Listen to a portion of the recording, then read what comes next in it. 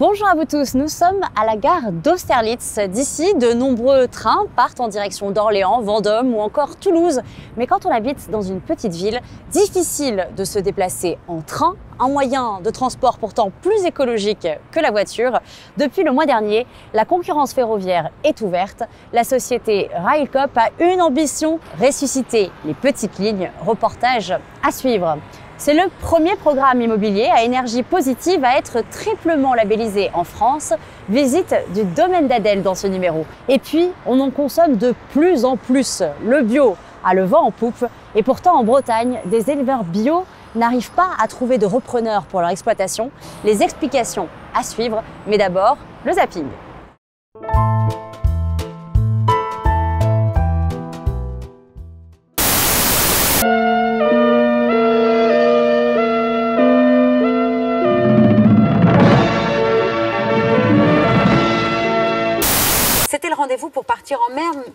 Pour ceux qui étaient loin du quai. Message posté ce matin par un internaute. Ils étaient nombreux à vouloir saluer la mémoire de Georges Pernou, emblématique capitaine de Thalassa pendant 42 ans.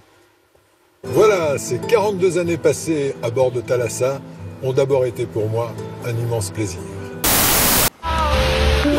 Oui Ça, c'était à Marseille la semaine dernière, vidéo vue plus de 2 millions de fois. C'est un jour euh, inédit, potentiellement historique.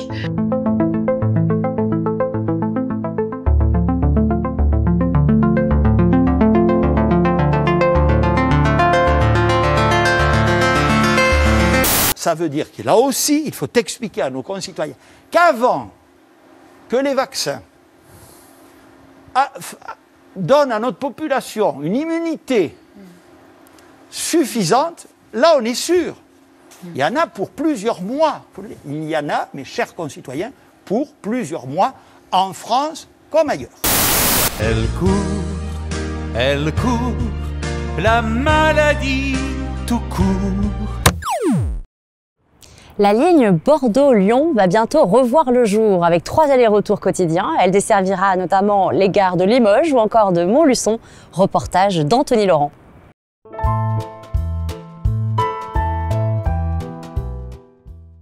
Elle agite le monde ferroviaire français depuis sa création en 2019. La toute jeune société coopérative Railcop remettra en service d'ici à 2022 la ligne entre Bordeaux et Lyon, abandonnée depuis 2014. Un projet à la fois inédit et vertueux qui permettra de redonner une seconde vie à ces lignes intermédiaires tout en redynamisant les territoires.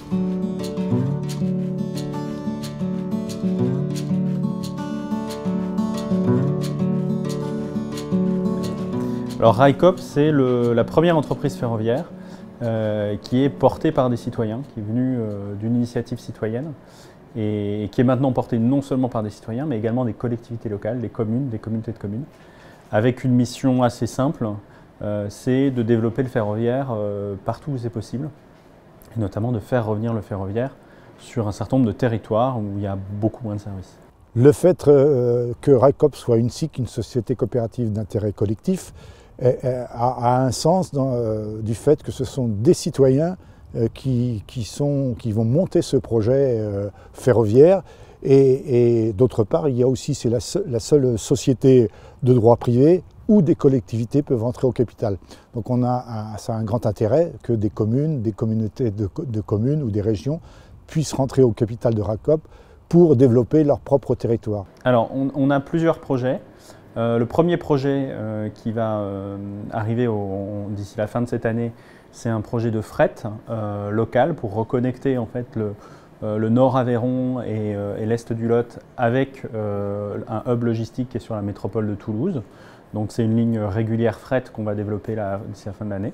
Et puis on a un projet plutôt voyageur qui est la réouverture de la ligne Bordeaux-Lyon en direct via Limoges, Guéret, Montluçon pour recréer cette transversale qui été fermée en 2014. Et ça, ce sera à partir de euh, juin 2022. On fait cette offre en fait clairement pour proposer une alternative à la route. D'ailleurs, dans, les études de marché qu'on a faites, on voit que 85% euh, de nos clients viendront de la route, euh, le reste de l'aérien et puis du ferroviaire également, marginalement. Mais la, ligne est clairement destinée à assurer un report modal du trafic routier vers le trafic ferroviaire.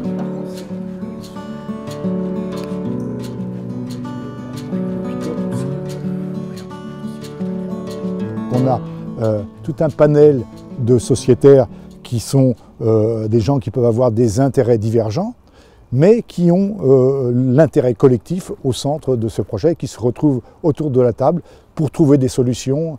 Alors, l'avantage d'une coopérative comme RICOP, c'est que c'est une société qui appartient en fait à ses sociétaires. Euh, donc aujourd'hui, on est à plus de 3200 sociétaires.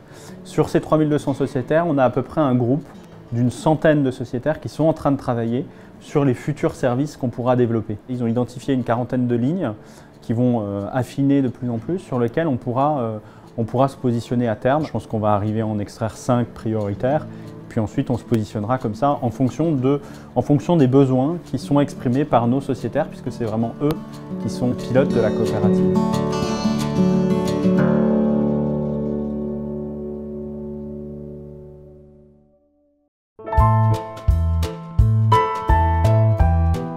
À quoi ressemblera l'habitat de demain Bienvenue au domaine d'Adèle. Situé dans le 94 à Villeneuve-Saint-Georges, ce programme immobilier à énergie positive devance la future réglementation environnementale 2020. On vous explique tout.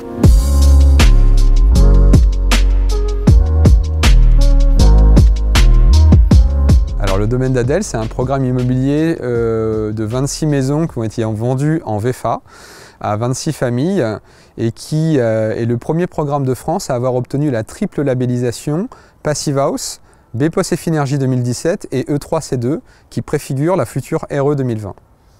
Les maisons ont toutes été réalisées en ossature bois.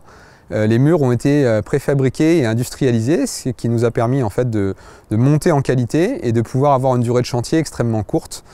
Le chauffage et la production d'eau chaude sanitaire est faite à travers une chaufferie biomasse et un silo de 9 tonnes de granulés qui alimente un réseau de chaleur qui passe devant les maisons et qui permet, grâce à l'échangeur à plaques, d'avoir de l'eau chaude à volonté. En plus de cela, les maisons sont équipées d'une toiture végétalisée sur laquelle est posé 6 panneaux qui nous permettent de produire à peu près 200 euros d'énergie par an qui vont venir réduire la consommation totale de la maison qui est estimée à 600 euros par an. Des maisons vendues entre 280 000 et 318 000 euros et qui répondent déjà à la prochaine réglementation climatique, la RE 2020. Alors euh, la RE 2020, en fait, elle est basée sur l'expérimentation énergie carbone qu'on appelle E+, C-, qui a été lancée en 2017 par Emmanuel Cos, qui aujourd'hui pose plusieurs bases, c'est-à-dire une meilleure performance des bâtiments, c'est-à-dire un B-bio de 30% par rapport à la RT 2012, ce qui est en fait une meilleure isolation des murs et des parois, et le quasi-bannissement des énergies fossiles pour se focaliser uniquement sur des énergies euh, décarbonées. La RE 2020 prévoit aussi un seuil minimum d'isolation thermique et phonique. L'accent est également mis sur le confort d'été. Alors ça, c'est un problème qui a été réglé sur cette opération grâce au bon déphasage de nos murs et aussi à l'équipement de la VMC double flux qui, grâce à son bypass, permet de rafraîchir les maisons pendant la nuit. Initialement prévue le 1er janvier dernier, l'entrée en vigueur de la RE 2020 a été décalée à l'été prochain en raison de la situation sanitaire. Toutefois, de nombreux professionnels du secteur réclament déjà son report en 2022.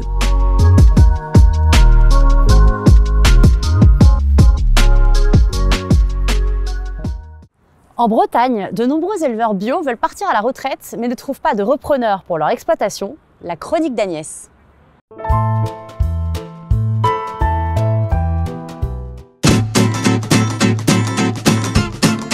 En Bretagne, plus de 800 éleveurs bio partiront à la retraite dans les 7 années à venir. Seulement un tiers de ces fermes feront l'objet d'une installation. Le reste sera racheté, soit pour agrandir une autre exploitation, pas forcément un élevage, soit par d'autres agriculteurs, pas forcément bio. En 2019, 3% des exploitations bio sont ainsi repassées en conventionnel. Si la Bretagne est une région très concernée, la situation est identique dans toute la France. Et derrière un élevage bio se cachent des emplois locaux. Alors, à qui la faute? Sans doute aux préjugés associés à l'image du métier d'éleveur, souvent synonyme d'horaire à rallonge ou de fin de mois difficile. Pourtant, la consommation de produits laitiers bio est en hausse constante. Les ventes ont progressé de 17% en 2019 par rapport à 2018. Depuis mars 2020, la barre du milliard de litres de lait bio a été franchie. La viande bovine bio est aussi en forte croissance. La demande a progressé de 8% en 2019. Alors je me suis installé en 1984, donc en, agriculture dite conventionnelle. Et puis c'est vrai que j'ai fait le pas de la bio il y a déjà 22 ans. Je, m'épanouis dans ce que je fais. Alors pas chacun ses goûts. Ça permet aussi de bien vivre de son métier. Je pense que transmettre sa ferme, savoir qu'elle est reprise, donc permettre à quelqu'un d'autre de vivre, euh, eh ben c'est une satisfaction. Pour moi, c'est important. En fait, les éleveurs bio ont su mettre en place des organisations leur assurant un revenu décent et leur permettant de combiner vie personnelle et vie professionnelle. Ils sont 95% à trouver que leurs conditions de travail sont correctes à très bonnes et près de la moitié des éleveurs laitiers bretons estiment que leur revenu est bon à très bon. Sans compter les avantages de leurs pratiques culturales sur les milieux, leurs parcelles se révélant plus résistantes face aux aléas. Qu'un élevage bio ne trouve pas repreneur, vous, je ne sais pas, mais moi, ça m'énerve.